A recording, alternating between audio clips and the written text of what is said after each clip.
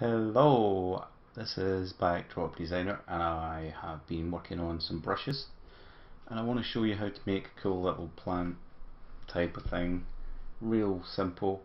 Uh, I've made one earlier called this little leafy stem and I'll show you how I made this.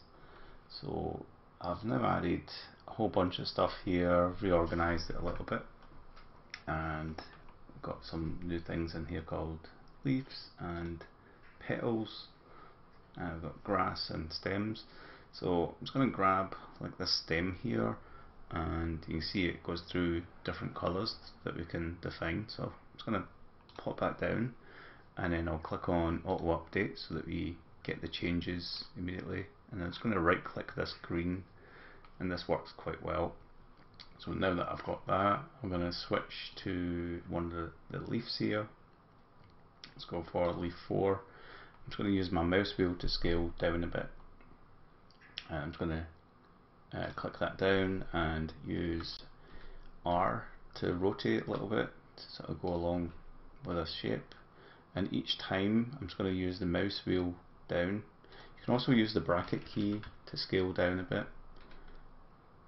And just plot that on there. And rotate the other way with E and scale down and just kind of carry that one a bit. I can kind of make it go like that. Um, so that's basically how you make that. And I just want to use the little grab brush here and just kind of go over that area. And I'll call this uh, leaf branch one. So leaf stem, leaf branch, they're more or less the same thing and I can actually use that now to make some nice extra features. And use my little branch. I can use X to flip this left and right and make a little kind of baby ones coming off this. And now that I've got another thing I can grab that and call it leaf bunch. Um, there we go. So I want to clear everything, so I'm just going to go up to the uh, reset up here. And just make sure that I also grab my colours. I'm going to turn that auto update off. And you see I can go between the original colours and any new colours but they're more or less the same. So let's just plot that down so you can see what I mean. So I'll put that there that's the original. And gonna click that down and do auto update. I'm just going to bring in some different colors here so you can see I can easily change the, the colors up to be anything else. I quite like the green one so I'm just going to have it on its original color. You can also mess around with like blurriness in case you want to put this in the backdrop or something. Uh, the cutout value, which you won't really see too much. Um, the opacity and things. So I'm just going to turn that off and just going to use control backspace which is the same as reset. And I can start kind of rotating and plotting loads of these down. Make a little kind of forest foliage bunch. That. Uh, and if I do want to change the shape up a bit I can use the mouse wheel and I want to change the color a bit can just bring the slider in. And you can see it's already going for these grey colors uh, what I like to do is I like to put it down first and use the auto update so I can see this change live. And go halfway and now I can sort of bring these colors towards something else like something a bit brighter. Maybe stick to the green tones as well and I can even like boost those dark tones up a bit more. I can also pick from there. So I've got that. Now I can place some more in, like so. And now I can go back to the original leaves, um, which was these ones, and let's make sure that's got a whole new color and going to make the odd little kind of highlighted leaf here and there. Like that, and get this nice little bouquet of uh, things. I could use that in a game.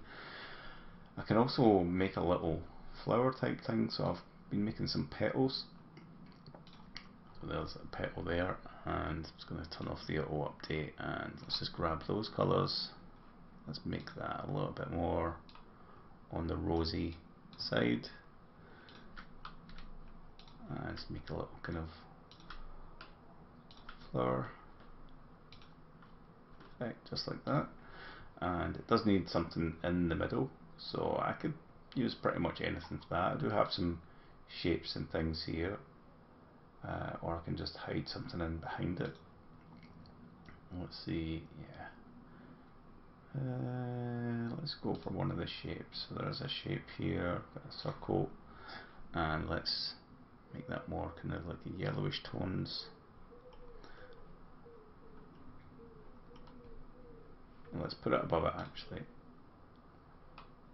Doesn't quite work so well like that, but I'll place it down. I'll do the auto update so I can improve the look of it.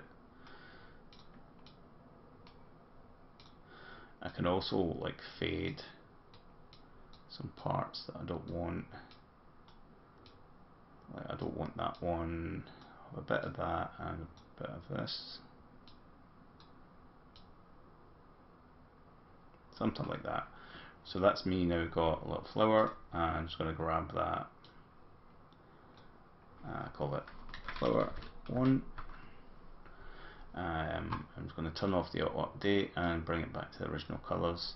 I can actually undo those steps because I've already got the, the flower now and I can place this in various places in here so uh, like I can always tuck it behind a few places. Um, if I go to the layer below I can put some in behind. Press X. Uh, I do want a little bit of colour variation so I'm going to bring on the random colour and maybe a bit of random rotation. I'll just click that down and see what I get. I don't get too much of a change so in order to get a little bit more colour variation need to bring this slider up a bit okay that's giving me just just enough and I'm going to go the layer front let's do more random rotation. Let's also bring in the random flip X and random scale. And that way I don't have to worry about sizing it or, or rotating it myself. It's just kind of picking at random.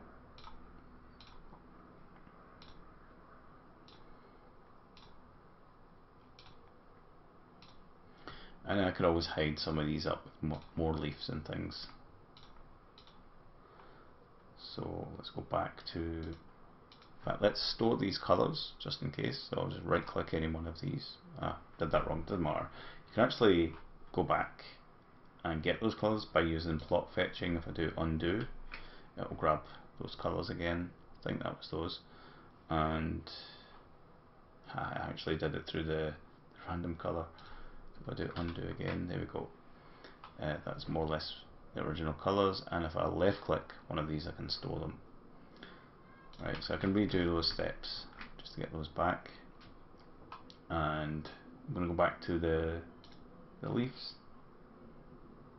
Um, I think it was these ones. Um, and I do have roughly the right colours, but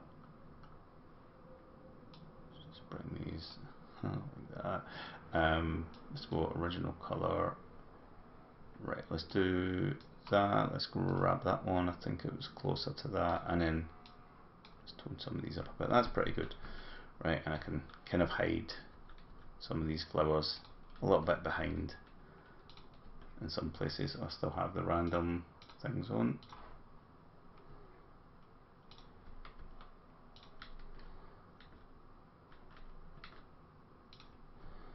That just helps helps that to work a bit better. So there you go, there's a little bouquet. Now I did go a little bit out down there. Um, now what, what I could do is go back, uh, back in time by undoing to the point where I placed that. So So when I placed that one, I didn't place it very well, so I'll actually do plot fetching, undo, undo, and then I can fix this one. I'm going to move it up here. And now I'm just going to redo everything by clicking this button. And I've got everything back, and that's now not lo no longer down there. And now I'm going to grab all of this and I call it a bouquet, bouquet, I think that's how you call it, spell it, and there we go, I just want to reset the rotation here, so rotation 35, 360,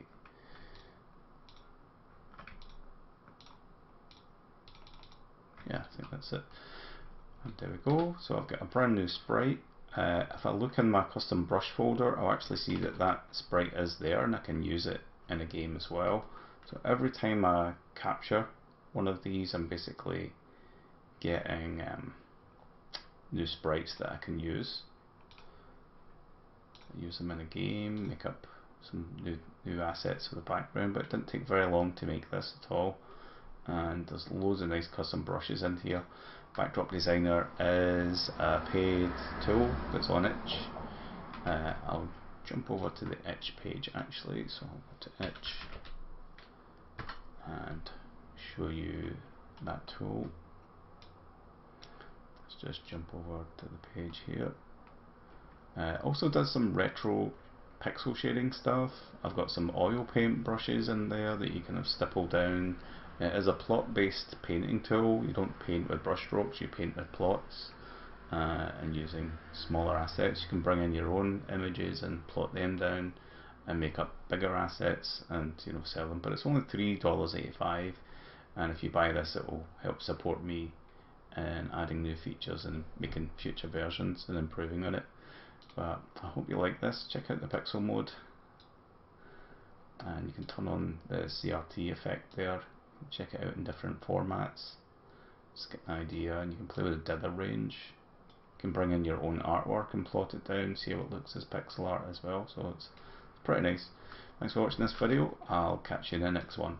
Bye for now.